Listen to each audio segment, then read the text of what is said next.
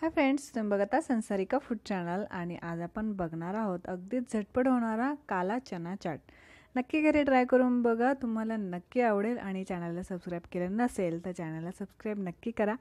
आवडल्यास लाईक करा आणि शेजारी बेल आयकॉन असतं तेही प्रेस करा म्हणजे मी शेअर केलेल्या रेसिपीज तुम्हाला लगेचच मिळतील. चला तर मग सुरू करूया. इथे मी हरभरा म्हणजेच काला चना आठ तास भिजत ठेवला होता. तुम्ही बघू शकता तो छान भिजला गेला आहे. आता आपण तो मिक्सरच्या भांड्यामध्ये टाकून घेणार आहोत.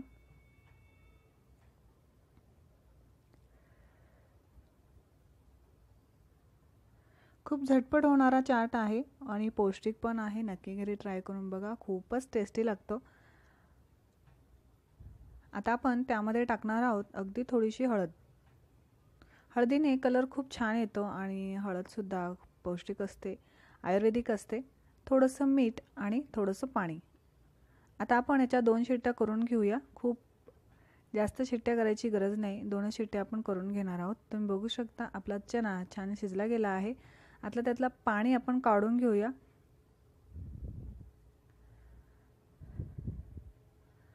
आता आपण त्यामध्ये टाकणार आहोत अगदी थोडीशी लाल मिरच पावडर. चवीनुसार मीठ टोमॅटो कांदा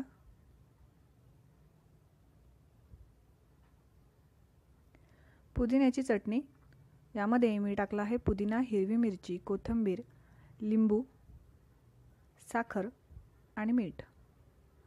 आता आपण त्यामध्ये टाकणार आहोत चिंचेची चटणी. या चिंचेची चटणीमध्ये मी टाकलं आहे चिंच खजूर गूळ. थोडंसं मीठ आणि किंचितचं लाल तिखट. आता हे छान मिक्स करून घेऊया.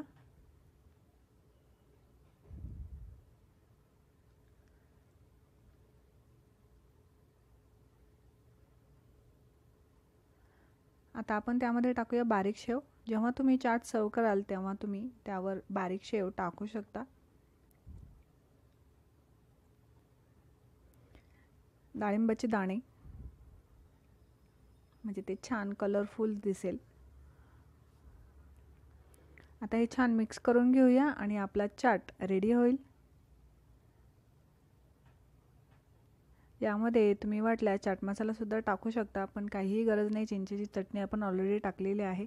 खूपच टेस्टी लागतो. नक्की घरी ट्राय करून बघा आणि हा व्हिडिओ तुम्हाला कसा वाटला आहे मला कळवायला विसरू नका. आणि हा व्हिडिओ बघितल्याबद्दल थँक्यू